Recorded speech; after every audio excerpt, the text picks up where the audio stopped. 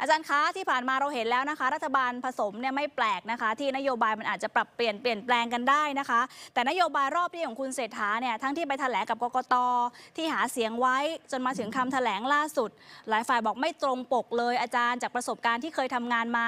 มีรัฐบาลที่ไม่ตรงปกแบบนี้เยอะไหมคะอาจารย์คะทั้งถ้าเอาประสบการณ์ในอดีตก็ก็น่าจะเยอะนะครับค่ะ แล้วเพียงถ้าแต่ว่ามันค่ะจะมีบางช่วงที่ตรงปกได้นะครับอืมที่ผ่านมาเนี่ยช่วงที่ตรงปกจริง ๆ ก็จะเป็นช่วงที่รัฐบาลก็เป็นรัฐบาลประเภทรัฐบาลพรรคเดียว ค่ะนะครับมีครองเสียงเอ่อข้างมากในสภาผู้แทนราษฎรได้ หรือไม่ก็เกือบเกือบๆนะครับอืมคือเราจะเห็นนะในในยุคแบบนั้นนะอ่ารัฐบาลกับนโยบายที่แถลง กับนโยบายที่หาเสียงอะค่อนข้างจะสอดคล้องกัน ค่ะ อืมนะครับอืม แล้วก็อย่างอย่างการอภิปรายรอบนี้เองอะทางทางฝ่ายค้านเองก็พูดเปรียบเทียบให้เห็นนะเช่น รัฐบาลปัจจุบันกับรัฐบาลเพื่อไทยเมื่อปี 54 เนี่ย ก็พบว่าในคำแถลงเนี่ยก็ในปี 54 ก็จะค่อนข้างชัดเจนกว่าอืมแล้วก็มีการเอานโยบายที่หาเสียงไว้มาใส่ในเนื้อเป็นคำแถลงของนโยบายรัฐบาล ได้เต็มปากเต็มคำมากกว่า ค่ะคำนี้มันเกิดขึ้นได้ในช่วงที่เรามีรัฐบาลที่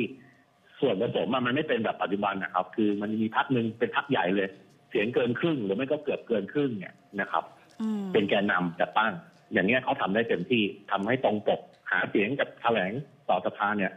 แทบจะเป็นเรื่องเดียวกันค่ะนะครับอาจารย์คะแล้วถ้านโยบายไม่ตรงปกแบบนี้ที่ผ่านมาเรามีมาตรการในทางกฎหมายอะไรที่จะมาเหมือนเอาผิดนักการเมืองได้บ้างหรือเปล่าคะอาจารย์คะครับ คือคือวันเนี้ยมันมีมันมีอยู่มันมีอยู่สองส่วนนะครับ ตามรัฐธรรมนูญกับกฎหมายประกอบรัฐธรรมนูญปัจจุบันน่ะนะครับ ที่เอาไว้กำกับเรื่องนโยบาย แต่ว่าไอ้สองส่วนที่ว่าเนี้ยมันก็กำกับแตกต่างกันด้วยนะอืมอันที่หนึ่งเนี่ยคือการกำกับที่ตัวนโยบายของรัฐบาล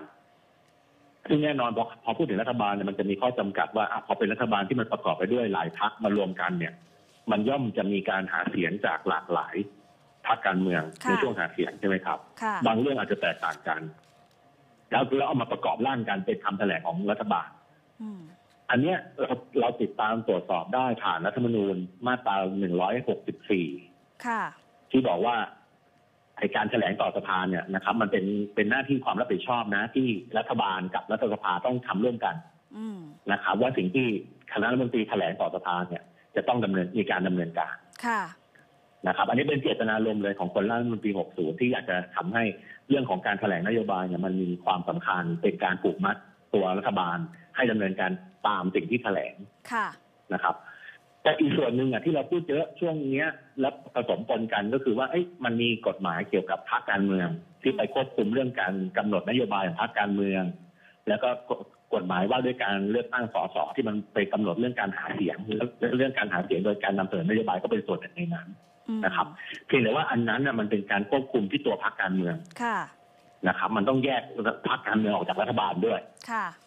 นะครับอืมแต่ว่าบทลงโทษล่ะคะอาจารย์ถ้าอย่างที่อาจารย์บอกว่ารัฐธรรมนูญรองรับไว้ตามมาตรา 60เนี่ยนะคะ แต่พอทำไม่ตรงปกกับประชาชนเนี่ยล่ะคะ มีโทษกำหนดไว้ด้วยไหมคะอาจารย์ในรัฐธรรมนูญนะคะ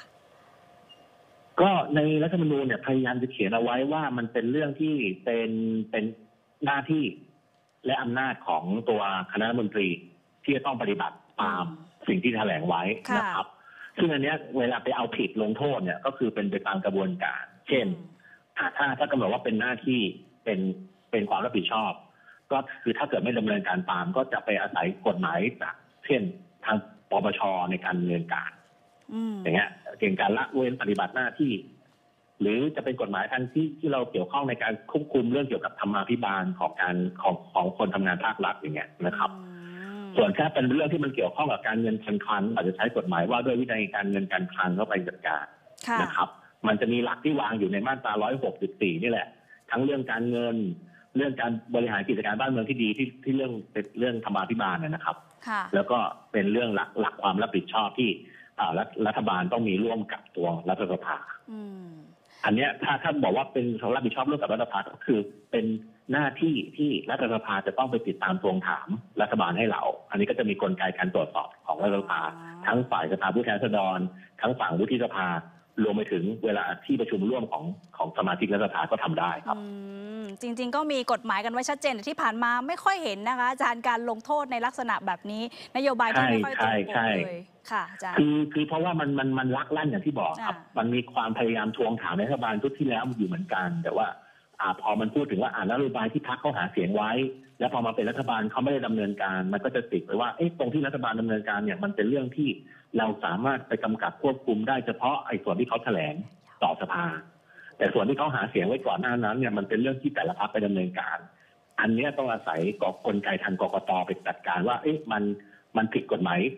พรรคการเมืองกฎหมายการหาเสียงเลือกตั้งตรงไหนหรือไม่อืมนะครับ ค่ะอาจารย์ ทีนี้ค่ะอาจารย์อยากให้อาจารย์ช่วยมองต่อเลยนะคะ ว่าถ้านโยบายไม่ตรงปกแบบนี้จริงๆเนี่ยมันจะส่งผลกระทบนะถึงแม้ว่าพรรคการเมืองที่ผ่านมาอาจจะไม่เคยมีบทลงโทษอะไรเท่าไหร่นะคะ แต่ว่ามันส่งผลกระทบกับประชาชนร้ายแรงแค่ไหนคะอาจารย์คะอืมผมคิดว่าอันเนี้ยอาจจะต้องไปทบทวนเอ่อกฎหมายว่าด้วยพรรคการเมืองกับกฎหมายประกอบรัฐธรรมนูญว่าด้วยการเลือกตั้งสมาชิกสภาผู้แทนราษฎร ในส่วนที่เกี่ยวข้องกับการกำหนดนโยบาย การหาเสียงโดยใช้นโยบายนะครับ เพราะไม่งั้นเนี่ยมันก็จะเกิดข้ออ้างตลอดเวลาว่าอืมตอนหาเสียงเนี่ยคือหาเสียงไว้เนี่ยว่าจะเป็นพรรคเดียวถึงจะทำสิ่งเหล่านี้ค่ะแต่พอมาในทางปฏิบัติจริงเนี่ยไม่สามารถตั้งรัฐบาลพรรคเดียวได้ต้องไปผสมกับพรรคอื่นอืมเลยไม่สามารถทำที่หาเสียงไว้ได้ทั้งหมดได้ค่ะ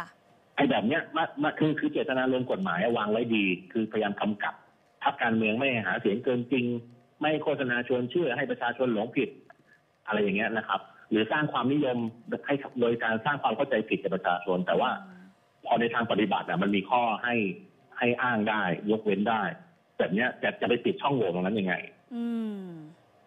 อันนี้ก็เป็นเรื่องใหญ่นะอาจารย์แล้วถ้ากฎหมายที่ว่าด้วยพักการเมืองแบบเนี้ยค่ะ ใครจะต้องมานั่งพูดคุยหารือหรือต้องเป็นบทบาทของคณะกรรมาธิการชุดไหนไหมคะอาจารย์ที่เกี่ยวข้องกับเรื่องนี้นะคะ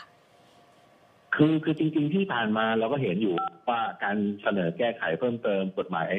ประกอบรัฐธรรมนูญอะ มันก็มีการเคลื่อนโดยตัวสมาชิกสภาผู้แทนราษฎรบ้างอะไรบ้างนะครับ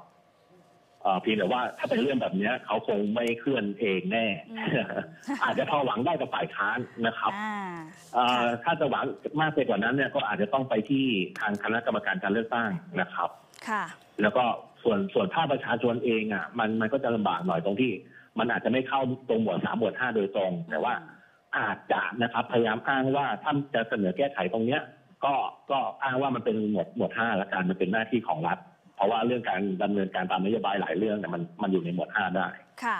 ก็อาจจะต้องมีการพยายามขับเคลื่อนโดยภาคประชาชนนะนะครับอืมภาคประชาชนอีกแล้วนะคะเอาละค่ะ ช่วงนี้ขอบคุณอาจารย์สติธรนะคะ ที่มาร่วมวิเคราะห์กับเราเรื่องนี้นะคะอาจารย์สวัสดีค่ะ ครับครับครับครับสวัสดีครับ